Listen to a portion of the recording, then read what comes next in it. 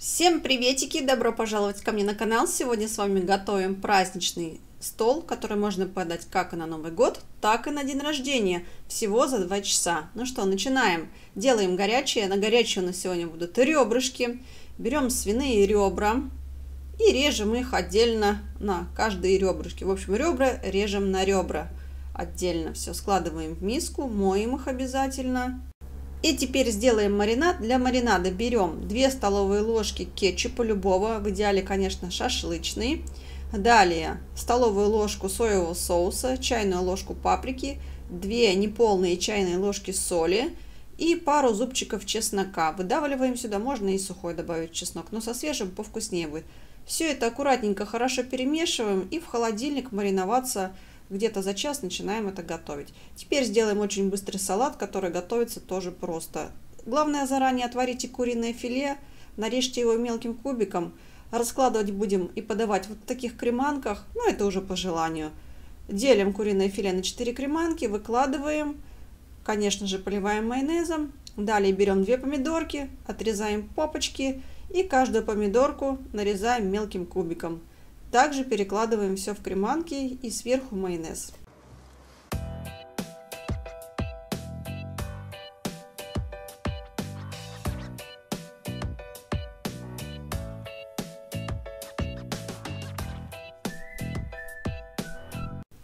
Следующий слой у нас луковый. Берем либо можно зеленый лук перьями использовать, режем его, либо вот такой красный, либо обычный белый. Тут уже без разницы, какой там у вас есть, такой и делаем.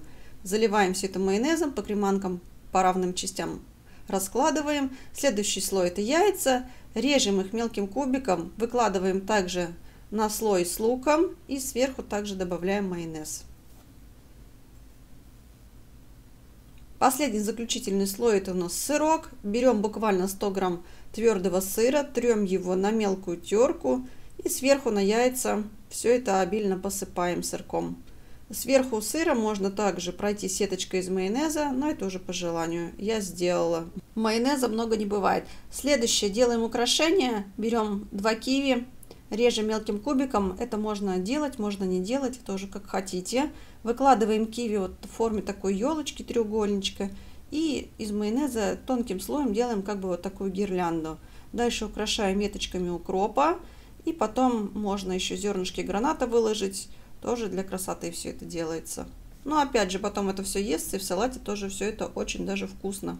Вот такой прекрасный у нас красивый и очень вкусный салатик получился. И к тому же готовится тоже быстро. Следующий еще быстрый салат, который приготовится в мгновение ока. Берем колбасу, режем ее мелким кубиком. Можно использовать ветчину, балык, даже та же самая куриное филе можно. Тоже без разницы. В общем, что из мяса есть, то сюда и использую. Выкладываем 100 грамм колбасе морковь по-корейски. И сюда же оставшийся кусочек сыра 100 грамм режем мелким кубиком. Даже тереть ничего не нужно. Добавляем все это в общую массу. Смазываем майонезом, все это перемешиваем. И теперь сделаем сухарики. Можно сделать из батона. Я сделаю из черного хлеба. Режем кубиком и на сковороде без масла просто их подсушиваем. Когда сухари приготовятся, сразу их не выкладываем, а именно перед подачей просто сверху посыпаем на салат. Иначе они размокнут и будет месиво. Просто сверху вот так, а потом уже, когда порционно подаем, тогда это все уже и перемешивается. Вот такой салатик, очень быстрый и, кстати, очень вкусный. Такие салаты обычно съедаются первыми. Их все любят, особенно с корейской морковкой. Следующее приготовим закуску с селедкой. Берем черный хлеб, можно также использовать и батон. Далее обжариваем его на сухой сковороде. Берем одну отварную свеклу, натираем ее на мелкой терке, добавляем пару зубчиков чеснока, немного майонеза. Все это до однородности перемешиваем и готово. На тарелку выкладываем теперь кусочек хлеба. Можно вот так еще кусочек салата выложить, если имеется. Чайную ложку нашей начинки из свеклы распределяем ровным слоем. А потом селедочка, пару ломтиков положим и украсим еще укропом. И все, быстрая еще одна закуска готова и очень вкусная.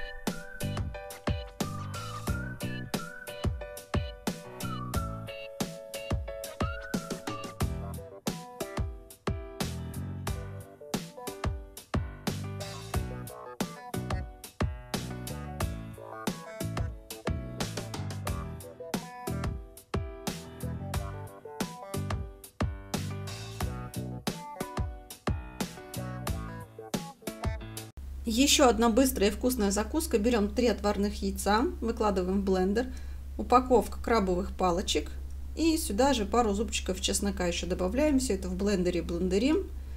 Добавляем потом пару столовых ложек творожного сыра. Я использовала Хохланд. Просто без всяких добавок. Сюда подойдет и обычно. Если нет творожного сыра, можно заменить майонезом, но с творожным сыром будет вкусно. Все это теперь хорошо перемешиваем до однородности. Берем тарталетку. Вот такой мешок я себе соорудила. Не оказалось у меня мешка, но ничего, можно всегда выкрутиться. Главное было бы желание. Выкладываем в тарталетку такой вот салатик, кусочек. И сюда же нашу начинку. Очень, кстати, вкусная получается. Крабовые палочки с яйцами, с чесночком. Очень вкусненько. Закачаешься просто.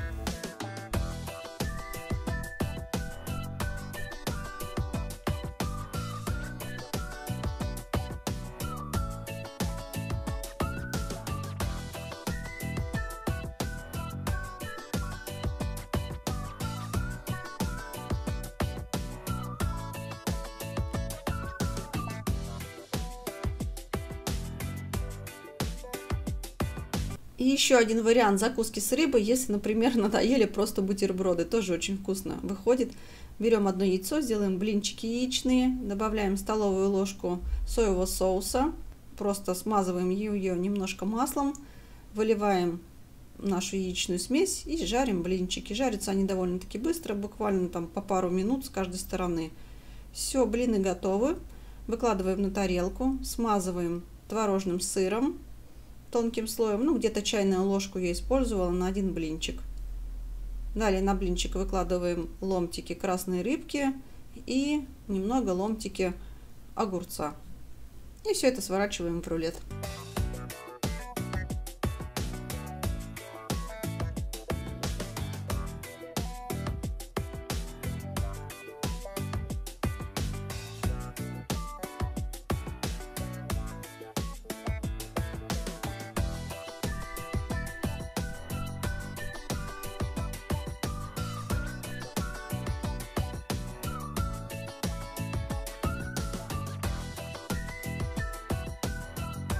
Потом каждый яичный блинчик режем на равные части, где-то сантиметр толщиной.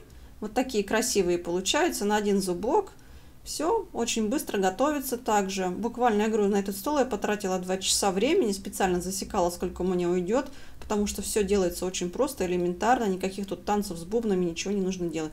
Ну и последнее, берем наши замаринованные ребрышки, выкладываем их на противень. Противень я застелила фольгой чтобы потом его не мыть тоже очень быстро, чтобы посуды тоже поменьше было потом.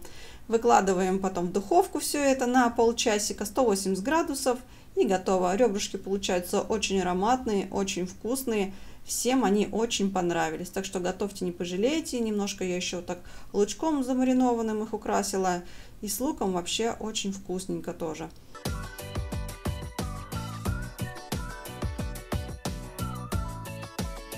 Вот такой у меня получился стол, быстрый, простой, на 4 человека за 2 часа, по-моему, это шикарно. Еды предостаточно, всего предостаточно, кстати, потратила я на него 2000 рублей, так что тоже очень все неплохо. Готовьте с удовольствием, вот такой стол у меня сегодня был, а я с вами прощаюсь. Всем пока и до скорых встреч, увидимся с вами. Пока-пока.